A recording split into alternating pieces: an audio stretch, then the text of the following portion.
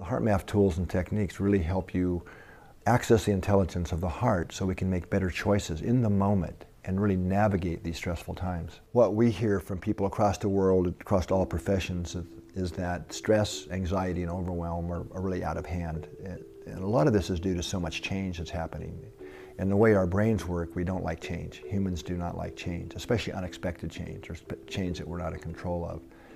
And as it turns out, one of the most effective ways to really reduce stress and anxiety and even feelings of overwhelm is to learn how to, to access the intelligence of the heart and shift the rhythms of the heart, which sends a different neural message to the brain.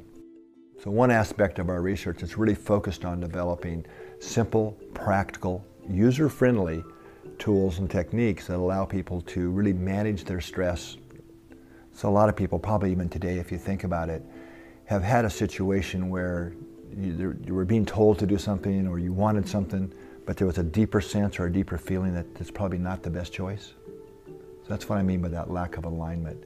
And that can really be a, a, a, huge source of stress for people until they learn how to really get the alignment between the heart and brain, which is where coherence comes in.